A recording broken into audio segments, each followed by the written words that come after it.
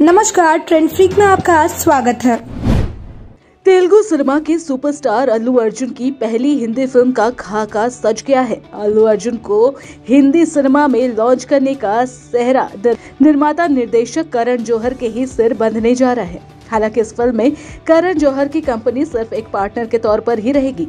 कुछ कुछ वैसी ही जैसे फ़िल्म सूर्यवंशी में थी। अल्लू अर्जुन की ये फ़िल्म अपनी home production company Geetha Arts के बैनर तले बनेंगे। फ़िल्म में तमिल, कन्नड़, मलयालम के अलावा हिंदी के कुछ दिग्गज कलाकारों को लेने की बात शुरू हो चुकी है। अल्लू अर्जुन के पिता अल्लू अरविंद इस फ़िल्म के असली कप्तान हैं और वो इस फ़िल्म के लिए देश की अलग अलग भाषाओं की दूसरी दिग्गज कंपनियों से बात कर रहे हैं। अल्लू अर्जुन की पिछली फ़िल्म पुष्पा पार्ट वन यानी पुष्पा द राइज की हिंदी में शानदार कामयाबी के बाद से ही अल्लू अर्जुन एक धमाकेदार हिंदी फ़िल्म की तैयारी कर रहे हैं। मार्च महीने में वो मुंबई आकर हिंदी सिनेमा के कुछ दिग्गज निर्माताओं से मिले भी थे। अल्लू अर्जुन ने धर्मा प्रोडक्शन के करता धरता करण जौहर के अलावा संजय लीला बंसाली से भी मुलाकात की थी। तब करण जौहर ने अल्लू को जो प्रोजेक्ट ऑफ़र किया था, उसमें वो अल्लू अर्जुन को सिर्फ़ अभिनेता के तौर पर लेना चाहते थे, जिससे उन्होंने इनकार कर दिया था। इनकार उन्होंने बंसाली की अगली फ़िल्म बैजू बावरा में रणवीर सिंह के साथ काम करने से भी कर दिया था।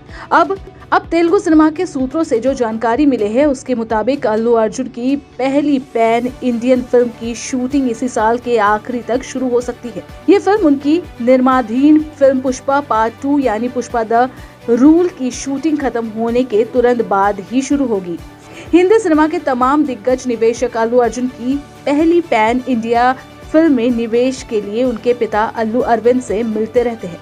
लेकिन इस रेस में सबसे आगे करण जौहर ही है। अल्लू अरविंद के स्वामित्व वाली कंपनी गीता आर्ट्स की इस बारे में धर्मा प्रोडक्शन के साथ डील करीब करीब पक्की हो चुकी है। फ़िल्म पुष्पा पार्ट वन की रिलीज़ के तुरंत बाद जब अल्लू अर्जुन से पूछा गया कि क्या आपके दरवाजे हिंदी सिनेमा के लिए भी खुल चुके हैं तो उनका उत्तर था हाँ वाकई मैंने हिंदी सिनेमा के लिए अपने दरवाजे खोल दिए हैं। अगर कोई वाकई में कोई शानदार प्रस्ताव हिंदी फ़िल्म का मेरे पास आता है तो मैं इसे करने के लिए तैयार हूँ। अल्लू अर्जुन की हिंदी सिनेमा के प्रति रुचि दिखाने का ये पहला मौका था और इस इंटरव्यू के बाद ही हिंदी सिनेमा के निर्माता निर्देशकों ने अल्लू अर्जुन से संपर्क साधने शुरू कर दिए।